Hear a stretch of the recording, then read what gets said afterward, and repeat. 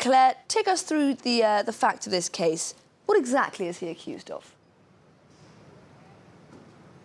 Well, just to give you a bit of context on the case itself. So, the man, the attacker, who was actually in the police officer's house that night, he was killed by police when they raided the property. The two people who were killed, two police officers, Jessica Schneider and Jean Baptiste Salvaing, they worked in the nearby police station, and their son, their three year old son, was in the house when the attacker was Larossi Abballa was his name, when he stabbed them to death in front of their three-year-old son. So this really was a case that shook the police force here in France. Two police officers attacked, targeted in their home. So the attacker himself was, was killed that night when police raided the property and saved the three-year-old son who'd been under hostage. The man on trial today Lamine Aberouz. He was a friend of the attacker, and his DNA was found on the computer in the couple's home. And that was the computer that the attacker, Larossi Abballa, he used to go on Facebook Live on the night of the attack and broadcast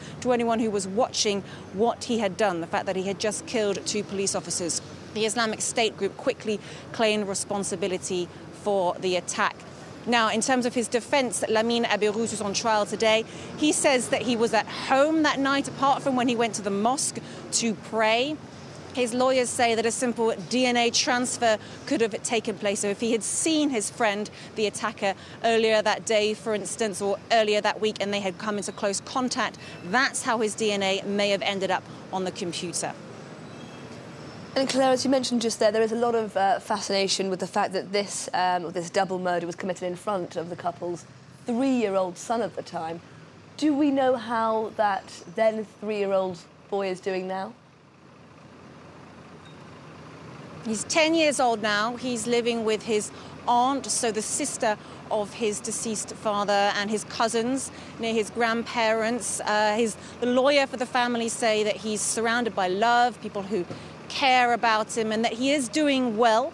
He sees a psychologist uh, regularly who is making sure that he is continuing to do well as an orphan now, of course. And really, I can't state enough how this really shook the police force here in France. This couple were targeted in their home. It was, it was almost like the police came to the conclusion that they weren't just going to be targeted when they were out on patrol or on the job, but actually in their home in front of their children, they could be targeted. This, of course, came in the context, it was in 2016, a wave of terrorist attacks were taking place in France. We had had Charlie Hebdo in the, in the Jewish supermarket at the beginning of 2015. We had had, of course, the Bataclan attacks at the end in November 2015. This was just before the Nice attack in July 2016. This attack took place in June 2016. So this really was a very tense time in France, but this was the first time we saw a police family